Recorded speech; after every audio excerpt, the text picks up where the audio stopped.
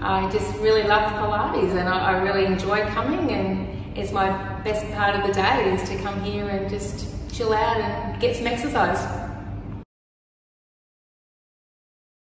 Uh, I was doing the gym and I didn't see any good benefits coming from doing the weights or doing the classes. And then I saw Pilates was advertised on Facebook and thought, hmm, let's have a go. So uh, once starting Pilates, I've uh, lost 11 and a half centimetres off my waist, uh, 9 centimetres off my hips, and I've dropped uh, 6 kilos. Um, I'm feeling a lot more positive about things. I get up in the morning and want to jump out of bed and um, I'm much more happier, much more calmer, um, and it's just been the best thing I've ever done.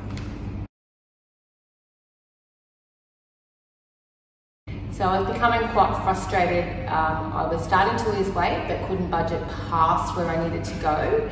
So I thought I'd try um, a different form of um, exercise and diet, which I did.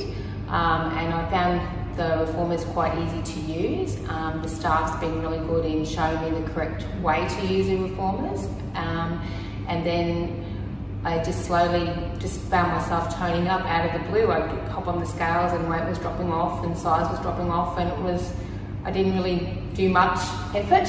It didn't feel like I was doing much effort. Um, and then I just saw the results and it was like fantastic.